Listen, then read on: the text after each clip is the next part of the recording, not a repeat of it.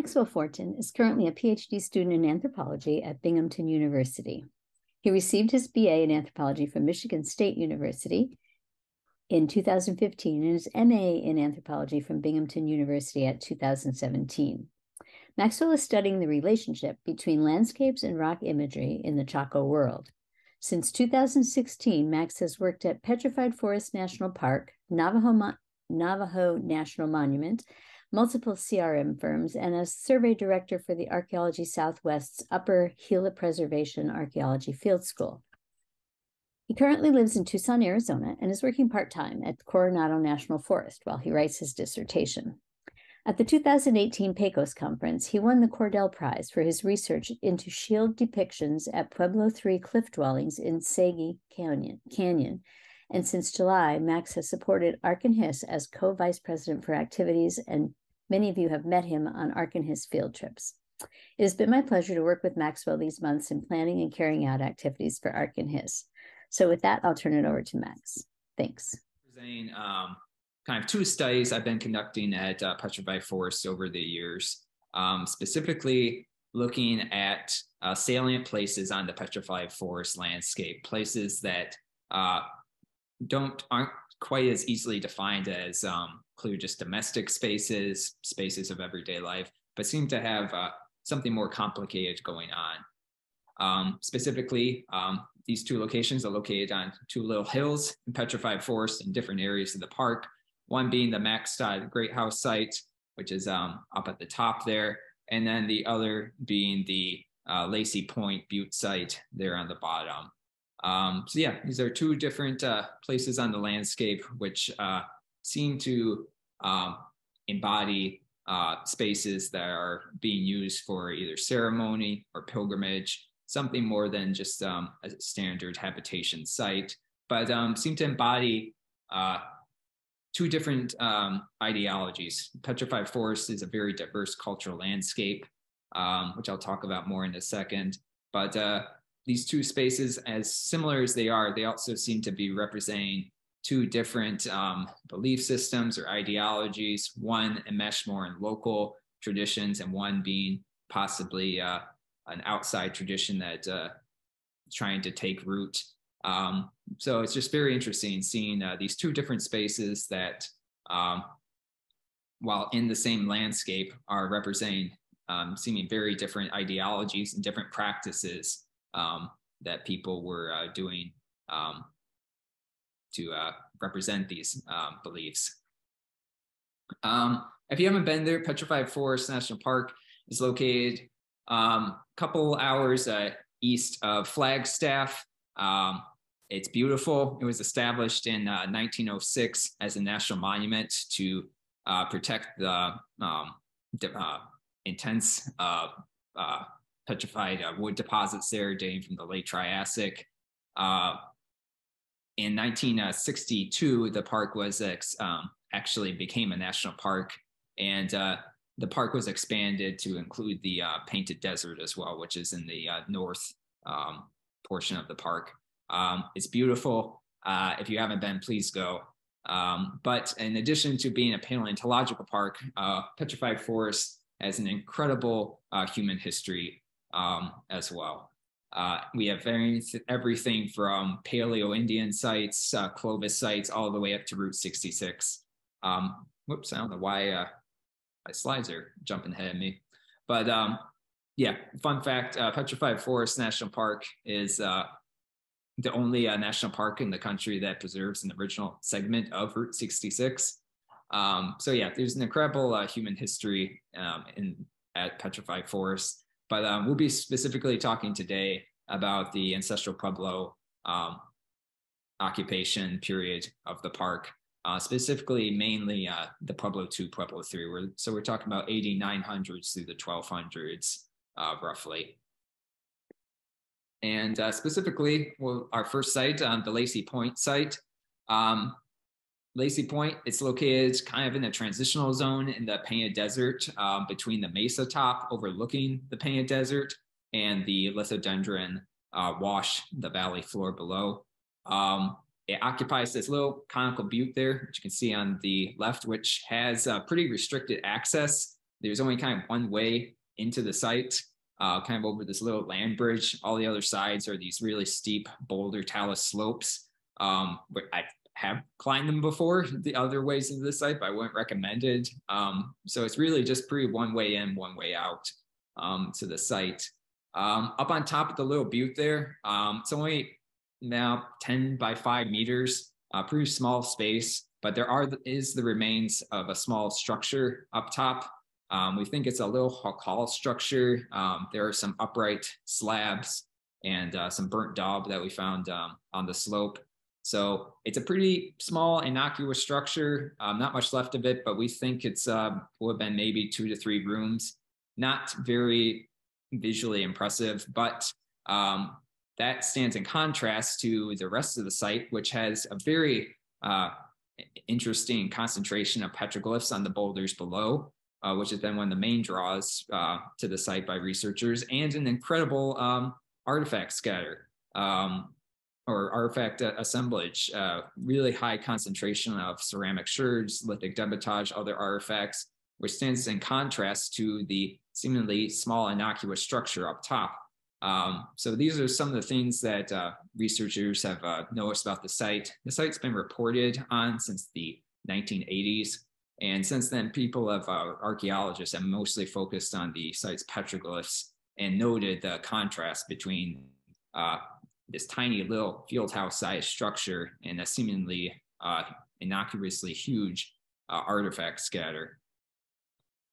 Um, so I'll talk a little bit about some of the rock art before I get into um, the study I conducted. Um, there's about 28 panels um, on the site. This is the most prominent one, the one that's uh, talked about most. Um, it's on a pretty prominent boulder um, below the uh, uh, top of the butte.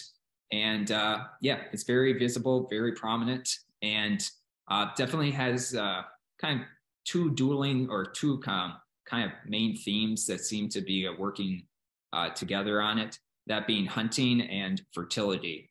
Um, hunting, you can see there's a, see if I can get my, yep, cursor, bow and arrow, just game animals.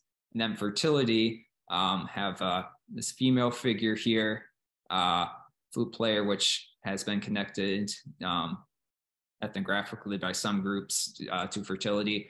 And then these feet, which uh, have, as you'll see, these uh, rather long phallic looking toes. Um, so kind of there's uh, two themes here of uh, hunting and fertility. And uh, ethnographically, um, previous archaeologists have uh, ethnographically linked this site to um, a figure in Hopi and other Puebloan traditions of a figure called the Mother of Game. Um, I, forgive me for butchering this. The Hopi pronunciation is Tuwa Bontum. Um, I'm sure I butchered that, and I'm so sorry. But um, yeah, this figure is uh, prominent in um, Hopi traditions. She's said to have lived in the Little Colorado River Valley and be a figure that uh, is responsible for the propagation, the um, and a population of game animals, and that hunters who wishing to have a successful hunt would uh, bring uh, make offerings to her. And we believe um, this figure, um, this figure with uh, the two twin discs, the raised hands in association with this imagery, is probably a representation of some iteration of this mother of game figure. Um, and this composition is found throughout the larger petrified forest region. Um, so this figure is this is not standalone. Uh, this she is found in other areas of uh, the petrified forest larger region. Um, yeah, so this is the main panel at the site, and uh, multiple uh, archaeologists have written on this panel in the past. Um, there is other rock art on the site. Um, most of it, though, is not as prominent as the Mother of Game panel. Um, it's tucked away in these little boulder crevices that uh, can barely fit one person. Um, there was some speculation um, that maybe uh, this big spiral could have been a solstice marker, but uh, there doesn't seem to be um, any alignments. Again, uh, I haven't been there on the solstice to check it out, but um, doesn't seem to be uh, uh, previous people I've looked at, and doesn't seem to have been the solstice marker. But uh, yeah, none of the other panels have quite as strong a theme or composition, and they all kind of tend to be tucked away in these little uh, nooks. Um, so yeah, lots of uh, previous archaeologists have talked about Lacey Point's petroglyphs um, and noted uh, uh, the small structure on top of uh, the butte and the large artifact scatter. But um, I wanted to focus more in on uh, the uh, the site's artifact assemblage and really see, you know, everyone talks about, you know, oh, Lacey Point, that's that tiny little structure and this huge artifact assemblage. That's it's really where it's like, well, rather than uh, just kind of talk like talk about what's get actually some dates to show that or maybe show it not. So I wanted to compare Lacey Point's artifact assemblage to other different types of sites in the surrounding region to see how does Lacey Point figure into um, these other sites? What is it most similar to? Or is it not similar to any other type of site? What type of box does it fit in most, or does it not fit into any box of uh, different types of sites? People have talked about Lacey Point being a shrine, but does the artifact assemblage um, bear that out? Or does it tend to look more like a domestic uh, site or a field house site? So I chose uh, three other um, sites in the area. Um, one, 575, is a large Pueblo room block, so very much a domestic site that's located in a similar setting to Lacey Point on a little butte overlooking the Painted Desert, uh, down in the Painted Desert. Uh, another is a uh, 551. It's more of a field house site, so not a similar setting to Lacey Point because it's located up on this mesa top um, away from the Painted Desert Rim. Um, but uh, similar architecture to what you see at Lacey Point, kind of a small field house size structure. And then 608, which is similar to the field house in that it's away from the Painted Desert Rim, not in a location like um, uh, Lacey Point, but um, and also uh, has architecture that is not like Lacey Point. So it really is the one that doesn't look like Lacey Point at all. So kind of different group of uh, sites that have different similarities and differences to um, to Lacey Point. And I wanted to look at um, how the artifact assemblages compare to these sites. What does Lacey Point resemble most closely to of uh, these three other sites? So I put in, um, yeah, over 300 sampling units across the sites. Um, I did nearly a thousand individual sherds. Um, to understand to compare Lacey Point to these other sites to see which it close which type of site it most closely resembled, or if it really truly does seem to be uh, in a league of its own. Um, this is just a small sampling of the ceramic types of ceramics that are at Lacey Point. Um, really beautiful polychromes and black and white um, bowls and uh, uh, jars. Um, very very striking. The majority of it, though, is uh, grayware, uh, mostly corrugated jars, um, which I would find out is pretty much uh, what you get at pretty much every site. Petrified Forest, that is the norm. Um, so yeah, mostly utilitarian wares, but a really uh, um, some really striking uh, vessels as well. Um, so yeah, I'm going to be flying through some charts here, um, just kind of going over the results. But um, yeah, my study after looking at ID nearly that thousand sherds, all those uh, sample units. Um, yeah, Lacey Point definitely does uh, stand out for this the sheer density quantity of artifacts um, compared to the other sites. None of them are even really close um, for sheer uh, just density per square meter of uh, number of sherds that you find. Um, so yeah, Lacey Point definitely uh, has more uh, artifacts on it uh, more uh, ceramics on it than the any of the other sites. Um, as far as vessel forms, um, that really didn't re- reveal anything unusual. As far as um, yeah, jars are the the most common, followed by bowls. Some a few ladles and shaped sherds, and some kind of indeterminates. But um, yeah, overall, all the sites have pretty fairly similar ratios. Um, it's, it's jars, so nothing. They all seem to be pretty common or pretty similar there. Nothing uh, too revealing. Um, same with uh, wear ratios. Like I said, it's grayware jars. Um, across the board on all four sites. Doesn't matter if you're field house, domestics, uh, Pueblo, or Lacey Point. Uh, it's a whole lot of jars, which is not that that surprising. Um, but um, where things uh, start to uh, look uh, a bit interesting, looking at the origins of um, where white wares are coming from, uh, Point is a pretty balanced um, ratio. Yeah, little Colorado wares are um, the most common, but Cibola and Tusayan, even a tiny bit of Zuni is also there.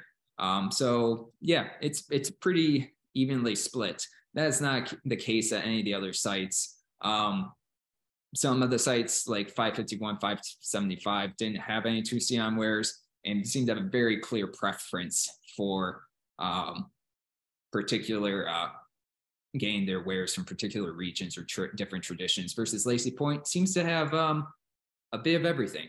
It's um, it's representative for the larger um, ceramic tradition, larger ceramic traditions that are found in the petrified forest region. Um, whereas kind of other uh, households seem to favor one region over the other. Lacey Point has everything. Um, seems to be, be the most diverse of the sites.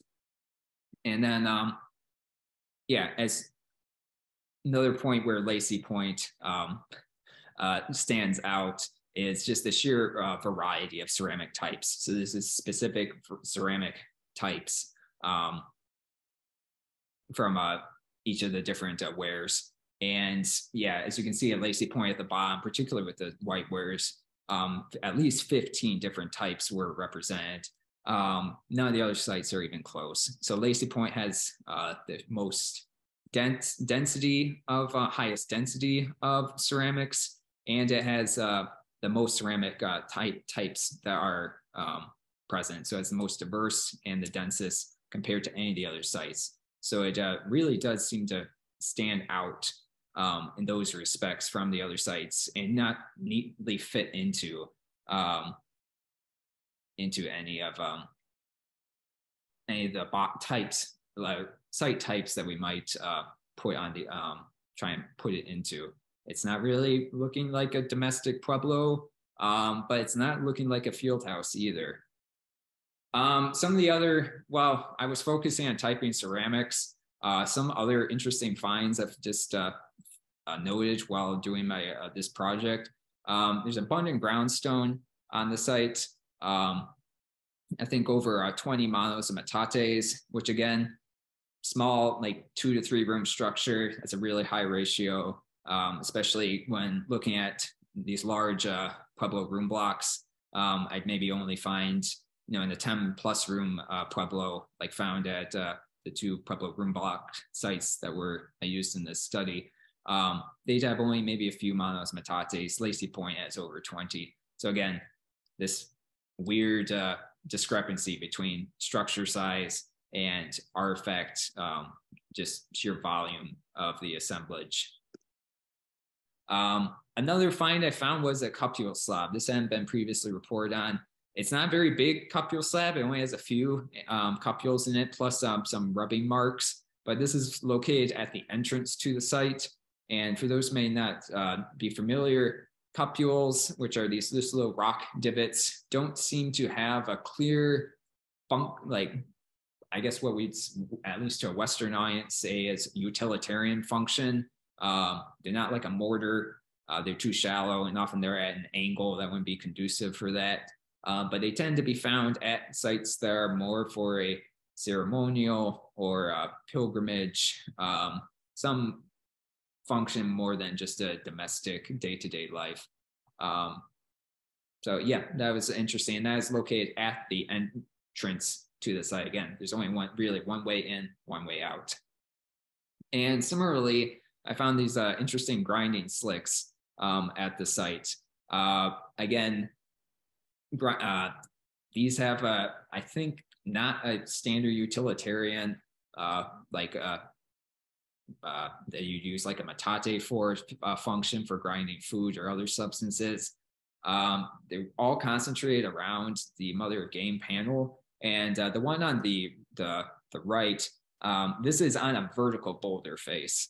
Uh, so you couldn't even, if you wanted to grind up something, uh, it, it, would just fall down.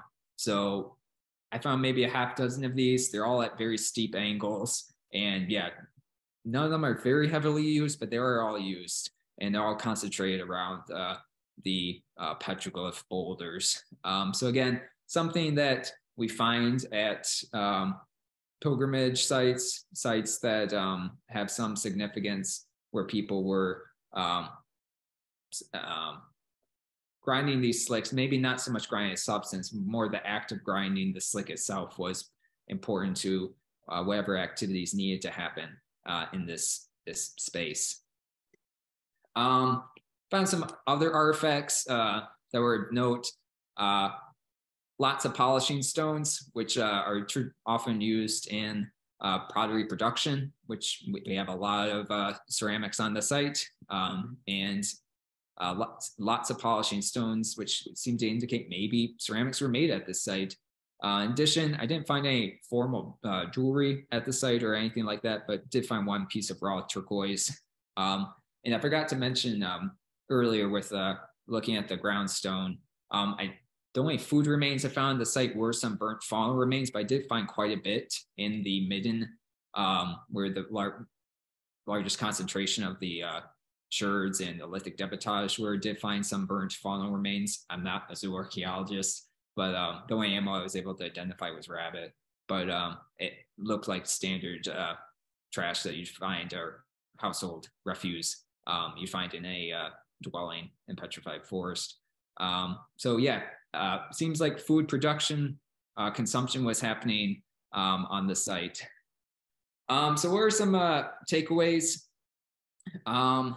Yeah, Lacey Point definitely has uh, um, a higher concentration of ceramics uh, than would found at any of the other sites in the area. It definitely does seem to stand out for just the sheer volume of ceramics as a more diverse ceramic assemblage than any of the other sites.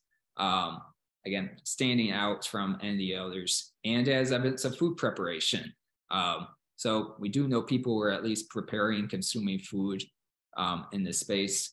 Um, another interesting little tidbit that kind of side effect that came out of this with dating the ceramics. Um, traditionally, the site's been dated to primarily P2 to P3, which it still is, but I did find some wares which uh, pushed it its date range into late P1 and a bit into P4. We did have some Hopi yellow wares on the site, which were not found at any of the other sites, um, which are dated to um, most likely the 1300s.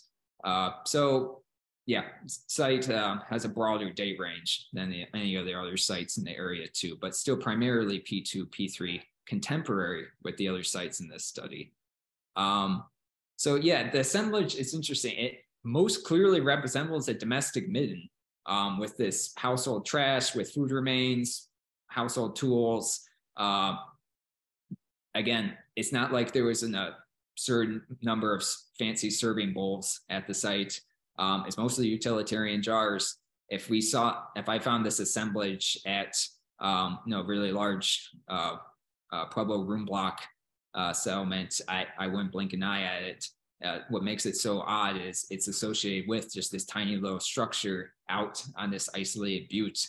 Um, so yeah, the assemblage does look like a domestic uh, pueblo, um, but the architecture is that of like a small field house, and the location is uh, on this little butte overlooking, having a very expansive view of the Painted Desert with this petroglyph concentration with this um, very uh, distinct uh, kind of dual themes associated with it, um, which all are indicative of shrine sites or uh, pilgrimage sites. Um, but the, again, the artifact assemblage suggests a habitation. So where does this leave us? Lacey Point really doesn't fit into any neat boxes. I do think it was a site of uh, either pilgrimage or um, uh, some sort of um, significance um, for the uh, surrounding population. But um, the assemblage on the site does seem to be more of a domestic assemblage. It's just, uh, it's huge um, for a site this size. Um, so yeah, this Lacey Point is an example of a site that's uh, ingrained into local traditions. The rock art is using local iconography and uh, very much built into um, in relationship with these surrounding sites um, and seems to represent local um, ancestral Pueblo traditions of the petrified forest region. Um, that stands in contrast to Mac Stod, our second stop in petrified forest. So Mac Stod is located in a different area of the park, but it's still within the park. Um, and uh, yeah, is one of the is really the only site that um, only great house contender within the current park boundaries. Um, there is one other site um, called McCreery Pueblo, which has a great kiva, which was has been excavated and was thought for some time like, oh, this could be another potential outlier of Chaco. Uh, there's wasn't seeming to once it was excavated, it didn't really seem to resemble uh, a Chacoan Great Kiva, and seems to more represent uh, uh, Great Kiva traditions that are found more in the Mogollon Rim. So, excuse me. Um, yeah, McCreery Pueblo, that was thought for a while to be a possible Chaco one contender. Not so much anymore. Again, that's a site that seems to be in, um, involved more with some more local um, or Mogollon influenced uh, traditions. Mac Stod, though, um, has uh, some of the hallmarks of a Chacoan site. And uh, while I was at Lacey Point, I compared uh, ceramics to other sites. At Mac Stod, I compared um, uh, petroglyphs at Max around Mac Stod to um, other sites within the park and sites within Chaco Canyon um, to discern if when you take a non-local architectural tradition and drop it in the petrified forest region how does that disrupt iconographic traditions? How does that disrupt or not disrupt um, petroglyph traditions um, and pe- in the petrified forest which has such a um, strong and unique um, petroglyph tradition i don't know if i emphasized that enough earlier on uh, petrified forest has uh, one of the highest concentrations of petroglyphs of anywhere in the uh, in the U.S. and uh, definitely does have some elements in it that are um, kind of diagnostic or um, hallmarks of the the rock art of the Greater Little Colorado region. Um, so I will not go down a Chaco rabbit hole.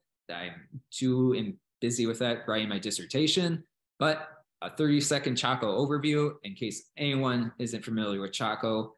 Um, Chaco Canyon is located in northwestern New Mexico. Um, beginning in the AD 800s, there began uh, the uh, construction of large monumental architecture called great houses that became uh, eventually accompanied by other features such as great kivas, um, roads, shrine systems, um, along with the importation of exotic goods from uh, northern Mexico uh, and uh, Gulf of California, Pacific Ocean for shells. Um, I don't know why keeps jumping ahead of me.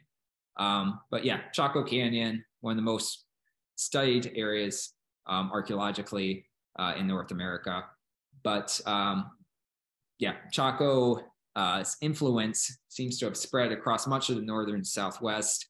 Um, in the form of um, what are called outlier communities, which have great houses, essentially miniature, sometimes not so miniature versions of the structures found in Chaco, um, with the petrified forest region being on the very kind of western periphery of where you can find great houses. And I will say Chaco does have a very, very abundant um, uh, concentration of petroglyphs and pictographs. Um, they're often overlooked in um, the archaeology of Chaco Canyon, um, but they are there and they are very abundant. Um, they're just not as uh, dramatic or stylistically distinct as other areas in the Southwest. Um, but returning to Mac Stod, um, it's built between circa 1050 to 1100. It's never been formally excavated. Um, and that's had some premier, uh, preliminary mapping and site descriptions done by Dennis Gilpin. Um, I've been through it a few times. It's uh, it's really impressive. It's located on top of this little uh, conical butte, um, kind of completely isolated, tiny little butte located between two larger uh, surrounding mesas. So you kind of funneled into the site um, from either the north or the south um, to this little butte, and there it is. So it's um, elevated above the landscape, um, but also kind of like Lacey Point, restricted access to it. You can only kind of approach from two ways um, to it. And um, why do we think this is a great house? Well, it has core and veneer masonry. No other structures within the park have architecture like this. It's got large rooms, well, very well uh, made uh, masonry. And um, there are other great houses in the area, particularly uh, there's Navajo Springs and uh, the Canyon Butte site. Um, so it's not completely isolated. There are other uh, potential great houses. It's small. It's only I think seven ish rooms. So if you put if you put this in Chaco Canyon, you wouldn't blink an eye at. But it's you put it in Petrified Forest, and it sticks out like a, a sore thumb. Um, so yeah, goals. I kind of run over some of this already. Um, rock art at Chaco is uh, often uh, overlooked or not really incorporate into the official narrative of Chaco, with some exceptions. Um, so yeah, it's largely underreported, and this is even more so at uh, outlier great house sites. To be fair, a lot of outliers there isn't uh, good rock faces to make petroglyphs or pictographs, but um, and others it just hasn't really been investigated. So this was an opportunity to look at where are what are petroglyphs are there petroglyphs around Mac Stod? What are they depicting? And then how does planting this non-local architecture, this non-local structure um, in this landscape, how does that affect the iconography? Um, yeah, so would if this potential bastion of Chacoan influence, would it disrupt um, the local iconography? Uh, or would the iconography completely stay the same? Um, or would there really uh, be would there be a mixture of both? Um, so determine um, how Mac Stod's uh, rock art assemblage compared to Chaco and other uh, sites within the um, uh, the park. I looked at uh, uh, three other sites um, in addition to Mac Stod, um, Petroglyph Canyon, which is located in a different area of the park, but has a really high concentration of petroglyphs um, and uh, very much imagery that's indicative hallmarks of local petrified forest um, traditions, or I should say, little Colorado traditions. Um, so a good representative site for like what typical rock art um, in the park is, and that was done by um, the data I used was collected by John Pitts in 2019, and uh, his work also supplemented um, uh, data I collected myself for Mac Stod. Uh, for Pueblo Bonito and Petroglyph uh, Trail, these are sites within Chaco Canyon, Pueblo Bonito, the oldest and largest great house, Petroglyph Trail um, along the canyon wall nearby. Um, that was data was collected by Barbara Bain in 2008 uh, for her master's thesis. So I'm grateful to all the people that collected this data, and I'm very happy to be putting it into use now. Um, so yeah, those are the sites.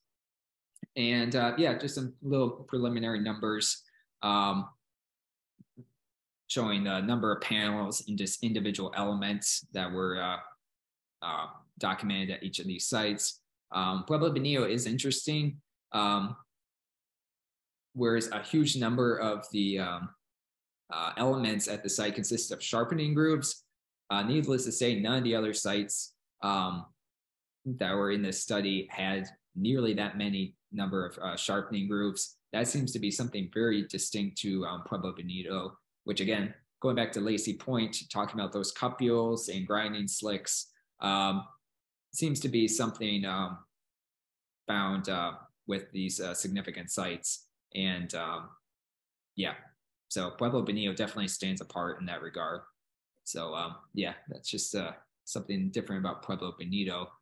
But um, getting into um, the actual analysis, um, looking at geometrics, across the four sites. Again, or um, overall, nothing really too much stands out, um, except for one very interesting thing being uh, spirals here, which are, uh, I'm sure many of you know, are very much associated at Chaco. Not something distinct to Chaco. Spirals are found all across the Southwest and beyond, but we all know about the uh, uh, Sun Dagger solstice marker on Fajada Butte in um, Chaco Canyon. And um, previous rock art researchers at Chaco do seem to indicate there is a higher concentration of uh, spirals at Chaco Canyon potentially. And we might see that play out here where we see the percentage ratio of spirals um, uh, at the Chaco Canyon sites dwarfs what's found at Petroglyph Canyon and not uh, Mac Stod not quite as high as these, but it's still much, much higher than found at Petroglyph Canyon, where spirals are not that common. Spirals are found in petrified forests, but um, there seems to do, be a, a break here with Mac Stod seeming to have a much higher ratio of spirals, which may or may not correlate with um, the rock art traditions uh, practice at Chaco. Um, here's just uh, some of the uh, examples of spirals at uh, Mac Stod. I like this one in particular, uh, connecting to this pair of feet, which we'll be talking about feet and sandals more in just a second.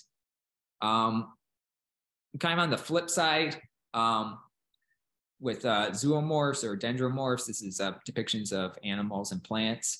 Um, two things kind of stand out to stood out to me. Mac Stod has a ton of depictions of snakes. I don't know what that's about.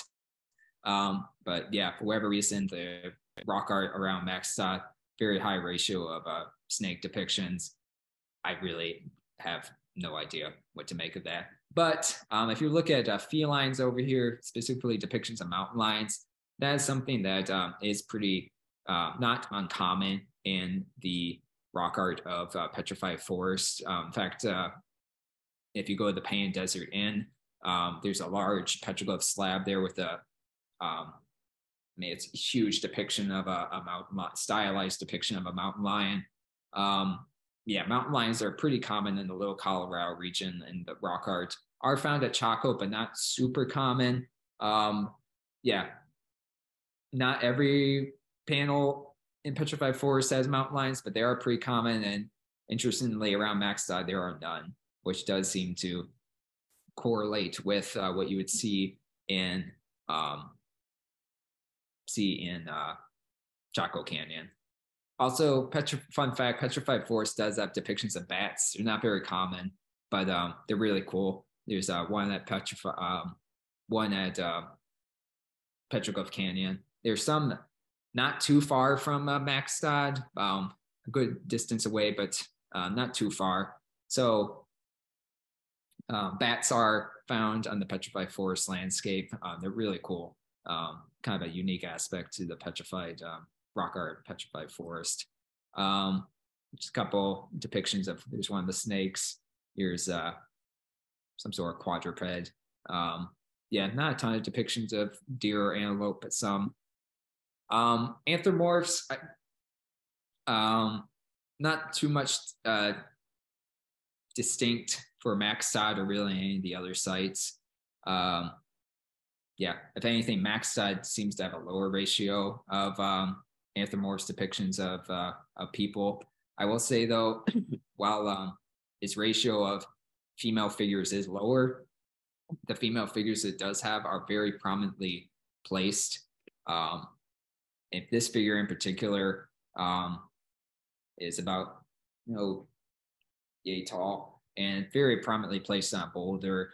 And uh, this interior design work here, uh, I don't know if that's maybe depicting a rib cage. I have, have no idea, but um, figures like with this very intricate interior designs are uh, found not uncommonly in the petrified forest region. And this is something that you just do not find, at least not that often at, at Chaco figures with this intricate um, of design of uh, interior design work. Um, so another kind of just surprise um, that again just kind of making things always more complicated, because of course things are more complicated, uh, were these uh, duck or bird-headed figures. Um, these are way more common uh, further up north in the upper San Juan region or up in uh, de. Um, they're occasionally found in petrified forest, but this is pretty much at the southern periphery of where you get them. And I was really surprised to find them, um, to find three nonetheless, uh, no less uh, around Mac Stod. And uh, this these figures are more associated with uh, Kayenta uh, populations. Um, so really unusual, um, and uh, perhaps showing that um, reg- the regional influences here aren't just restricted to Chaco. That maybe there's some Kayenta influence here too.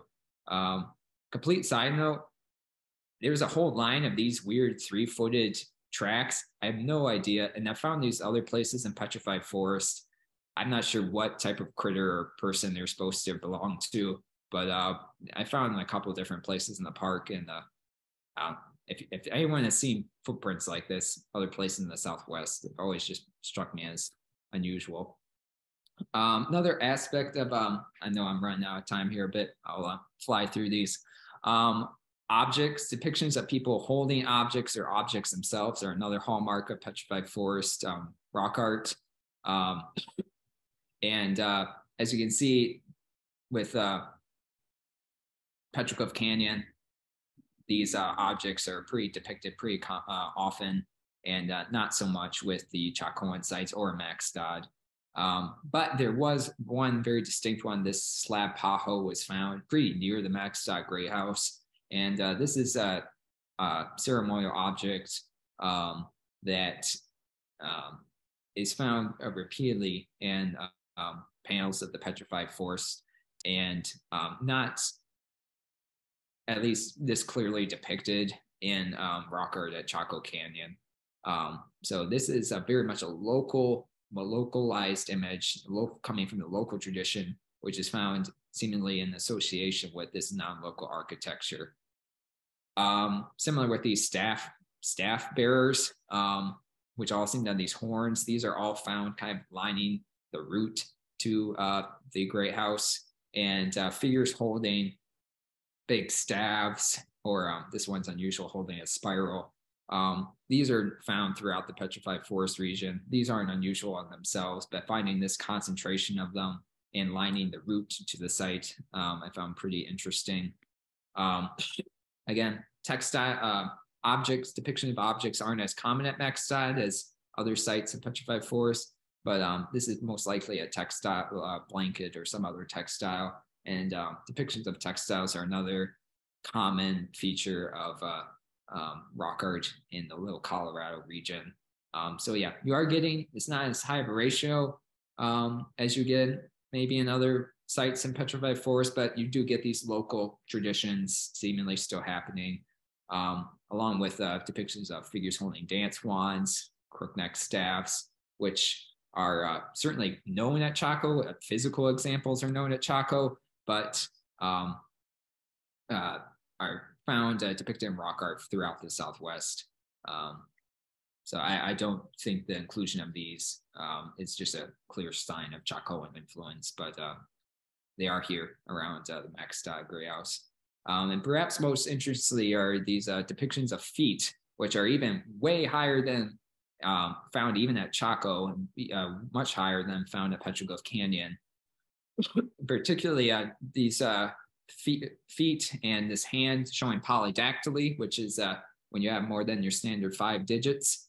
Um, we know um, polydactyly was uh, a condition that was present at Chaco, particularly it seems maybe with elites or uh, a founding family at Chaco. Um, it's depicted um, in rock art at Chaco, and objects at Chaco, and then um, both physical remains and in the plaster of Pueblo Bonito, there's footprints of people with uh, uh, polydactyly. So we know it's at Chaco, and it's theorized that um, this form of sandal called a jog-toed sandal um, is core, uh, associated with polydactyly at Chaco. Um, ben Bellorado did uh, his dissertation on this, and I highly recommend anyone to read more into his research. But uh, finding that uh, this form of sandal eventually became associated um, perhaps with Chaco is found with spread this depictions of these sandals and the sand this sandal form itself um, spread across the northern southwest. And as far as I know, these are the only depictions of jog-toed sandals found in Petrified Forest National Park. And it seems pretty telling. Where do you find them? At a great house. Um, again, they're pretty simple, but they're they're there. They're uh, found uh, right on the approach to, to Mac Stod. So where does that leave us? Is Mac Stod disrupting local rock art traditions? Is it a bastion of Chacoan influence or people emulating Chaco? Well, we have a lot of feed imagery, which seems to uh, be tied, uh, which seems to be a theme at Chaco, especially with polydactyly and jog-toe sandals and a higher ratio of uh, spirals. But at the same time, um, we have a depiction of a slab paho, figures with staves and dance wands, you know, objects, which is uh, associated more with uh, local petrified forest traditions. Um, and again, figures with elaborate interior designs, which you just don't typically find at Chaco. So it seems to be um, to return to both our sites. Um, petrified forest is a crossroads. It's where multiple traditions are seemingly coexisting or um, at least uh, tolerating each other or intermixing, um, where you have this Chacoan Great House, which seems to be introducing some new imagery into local rock art traditions. But those rock art traditions aren't just ending at Chaco, they're still continuing. And uh, I should say at Mac Stod, there's uh, hardly any artifacts at all. Um, and I'm sure some of that could be due to looting over the years, but uh, uh, it's still night and day to compare to Lacey Point, where so really there's these two similar sites found uh, top these prominent places on the landscape, overlooking the landscape, but it's uh, the practices performed there uh, couldn't be more different. Um, Max uh, Lacey Point seems to be enmeshed in local traditions and be uh, had something involved where uh, large refuse deposits were made but has this very tiny little structure up uh, top of the butte uh, versus Mac Stod, which has this very prominent, well built, large structure built um, atop this conical hill um, and introducing new imagery into local rock art traditions, but not stopping those rock art traditions, but having a very light artifact scattered. Not much refuse was produced at Mac Stod. Um, so, yeah, Petrified Forest it sits on ideological crossroads of different traditions. We see that just alone in the ceramics, um, which has uh, Cibola, Tusayan, and Little Colorado, where's all kind of converging these different traditions uh, meeting, which can be seen as a proxy for different uh, groups of people merging, interacting in this kind of border zone of a landscape. Um, so they're two different sites, but um, I think representing two different uh, forms of salient space um, within the same landscape. Uh, just thank you to the staff at uh, Petrified Forest National Park. They do a stellar job. Um, and Petrified Forest is uh, seemingly to always be expanding. So I'm excited for what uh, changes and growth is happening at Petrified Forest. Thank you to Arkin Hiss, my advisor, Dr. Ruth Van Dyke, and uh, my wife Lizzie and rest of my family for uh, all their patience and support. And um, I don't think I went too much over time. I'm happy to take questions. Um, I know there was a lot, but um, I'm happy to uh, answer any questions people have.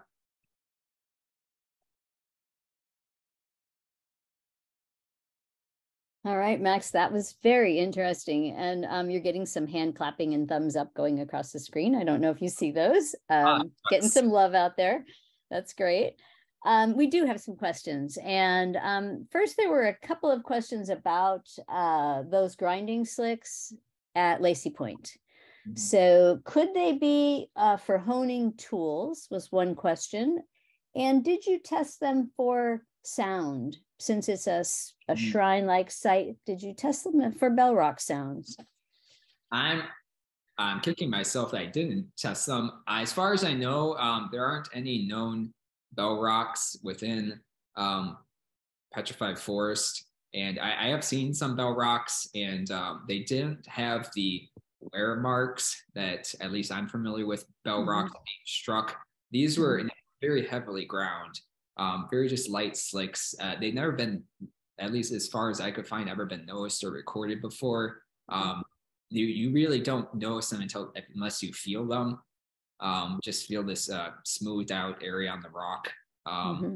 And yeah, it, I could see they um, they could could be tool sharpening marks. Um, I've I've seen tool sharpening marks on other sites, um, and they didn't. They are, certainly aren't the like deep grooves right. that you find um, associated with like uh, uh, axe sharpening um, features. Um, yeah, I, am a bit perplexed by them. Um, I could certainly see tool sharpening. If they were tool sharpening, they weren't used much. Mm-hmm. Um, and yeah, they, they are seem to concentrate around uh, these petroglyphs. They aren't found on any of the other boulders throughout the site, just around uh, the petroglyphs. Okay. Okay. I have quite a few more questions, so we'll just move on. How about water sources near any of the sites? Yeah, that's a, a great question. So uh, the nearest water source, really, for all the sites is um, the Lithodendron Wash, which only has running surface running water in it, essentially during the monsoon season, um, and even sparing during then. Hope might have uh, been more reliable in the past, um, but certainly you could probably dig for water um, need, if need be. There aren't any, uh, at least springs I'm aware of, or certainly no springs um, running now in the area. So all of these sites around Lacey Point would have uh, um, been using the lithodendron wash probably as the nearest water source. Um, I will say around Lacey Point, there's no good arable land. Um, it, not any real good farm land around uh, Lacey Point. So that's another aspect. They weren't coming here to Lacey Point. It's not like a field house next to a good arable area. Um, it's pretty. Uh, it's it's badlands. It's it's pretty mm-hmm. uh, rocky. Mm-hmm. Okay. Um, how about um, couple? Could the artifact richness be the result of the erosive environment at Lacey Point as compared to the more windblown sands you find on the other uh, petrified forest mesa tops? Um, yeah, and that is definitely, I think, um, could be a, is a contributing factor. Um, the mesa top site I did um, choose for, especially the large uh, Pueblo room block is actually right on the edge of the mesa top. So part of it is in that more sand blown area, but where I put most of my units is the Pueblo essentially is unfortunately falling off into the Painted Desert. Mm-hmm. Um, so it, most of that site in particular is the pre-exposed badlands, similar to what is found at um, petrified or found at Lacey Point. Um, the little field house site um, is more in that sand blown environment. So I'm sure that uh, if uh, it were more in the badland environment, more would be exposed. Um, the other site is um, the pueblo that's located within the um, within the more Painted Desert is also in a more uh, badland environment. So um, yeah, I think part of it for sure is uh, Point uh, is more exposed does have more erosion. Um, but the other uh, two uh, large pueblos have a similar uh, environment as well. Mm. And um, even with that more exposure from erosion, aren't producing the uh, assemblage size found at uh, at Lacey Point. Okay. Um, so how about does the paucity of the artifacts at Mac Stod suggest that maybe it was a structure for monumental effect, but not for residence or ceremony? Um, I definitely don't think people were living. I mean, I, if people were living at Mac Stod, it definitely was a very short span, or they were not uh, certainly doing a lot of domestic activities at Mac Stod. Um, I think it definitely was built for monumental effect. It's not on a convenient space. It's not like easy to get up on top of this little badland conical butte um, for either site, but especially Mac Stod. Um, yeah, I think it absolutely was built to be seen um, um, as you're approaching it from kind of funneled towards it, uh, either from the north or the south. Um, yeah, I still think Sarah, if ceremony did take place this there, um, it, it, was just different than say what may have happened at Lacey Point, where uh, it's not like say at Pueblo Alto, where um, you know it's been theorized uh, or debated um, mm-hmm. that uh, people were coming in having feasting events and making these large trash mounds. That certainly did not happen at Mac Stod. Um, but I still think people probably were doing something here. Uh, certainly, it was built to be seen by people um, mm-hmm. on the landscape. Okay. Um, um, with on that same line, um, it's hard to tell from the image of the top of the Lacey Point Hill, but is that structure found there similar to the ceremonial site on the on the mesa top above Petroglyph Canyon? Does do they look um, similar? That um, that yeah, I'm um, I'm not too familiar with the Petroglyph Canyon um, site, um, at least in that regards. Um, beyond the petroglyphs at it, um, I think what's found at um, there is pretty simple in form, um, but yeah, uh, I think Lacey Point is uh, it's not resembling what's found at most uh, what are classically defined as shrine sites, which is often just a pretty simple stone structure. This mm-hmm. has if we found this anywhere else in the park, it'd be like, oh yeah, it's a little jacal, like small domicile or a field house. Um, it, uh, yeah, it doesn't look like what you would typically, at least I'm aware of, find with sites associated with shrines. It, it looks like a tiny little field house or tiny domestic mm-hmm. structure. Which the midden seems to reflect too yeah that it um that that goes right into another question uh, someone suggesting could Lacey Point be a site for individual meditation of some type, or just for a, sp- a few small, you know, few individuals that are hanging out there? I guess. Um, I, I honestly think that's most likely scenario. Um, again, I'm not really going to go into. Uh, I just don't know that what type of act, like specific activities um, relate to ceremony or pilgrimage happen there. I think that's uh, the job to collaborate with the Senate communities um, mm-hmm. to discuss. Um, but yeah, I do think um, if there was some sort of significance at Lacey Point, it was uh, a few individuals staying there. Um, it has been theorized in the past that uh, Lacey Point could have been a sun watching station. I did. I didn't put this in my PowerPoint. I did um, go out. Um, it was a very cloudy day, but I went out um, on the summer solstice, so I couldn't see if that uh, spiral had any um, uh, like solar calendar properties. But people in the past have looked at that and said it doesn't. But I did um, look at um, using an application on my phone, look at where um, the sun was going to rise and set on both solstices and both equinoxes, and it doesn't seem to rise or set to any prominent lands form that I could identify on the horizon. It does have a very impressive view shed from Lacey Point um, to multiple prominent formations um, in the Painted Desert, but uh, none that seemed to, at least through I, what I could track, uh, would have correlated with uh, sunrise or sunsets during one of the major uh, solar events. Okay. Um, how about any interpretation of the sites by Native Americans that you're aware of? Uh, not that I'm aware of, other than uh, talking about again the Mother of Game panel. Um, uh, Ekkehart uh, Malotki has done a lot of uh, work along with them. Kelley Hays-Gilpin has also talked about uh, Lacey Point um, in regards to the Mother of Game figure.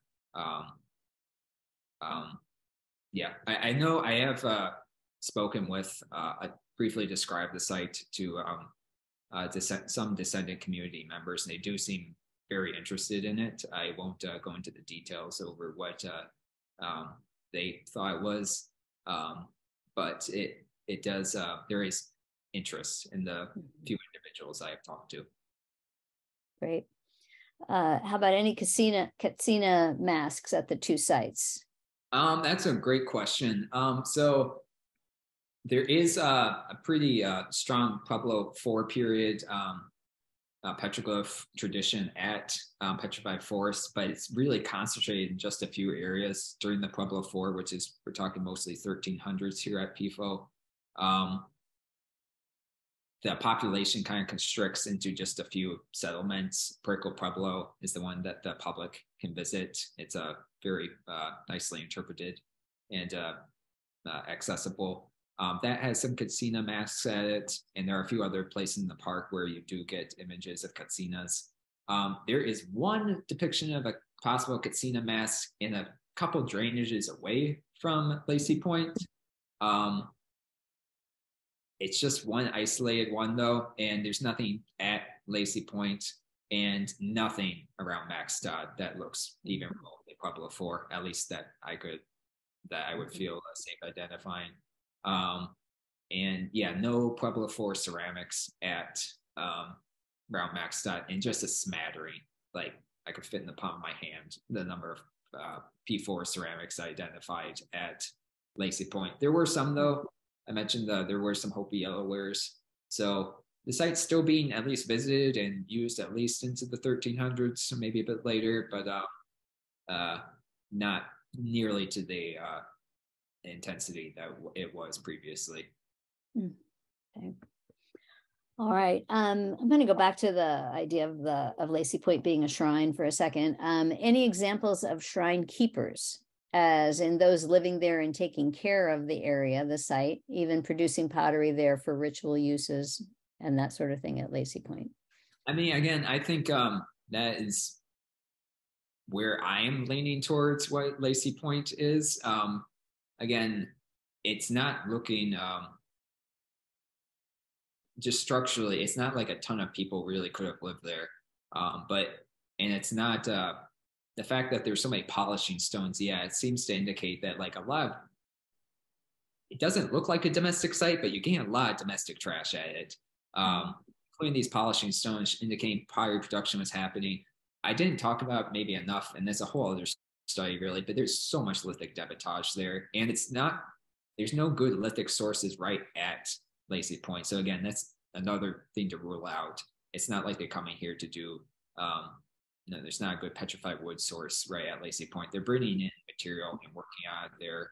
Um, so yeah, it's, it's stuff you would find at a, a domestic site, but um, yeah, I, I do think there were a few small group of individuals maybe that lived there, or or that um, maybe a few times a year, I, I you know at some routine basis, people came there and did do these uh, more domestic activities there even if they weren't living there year round.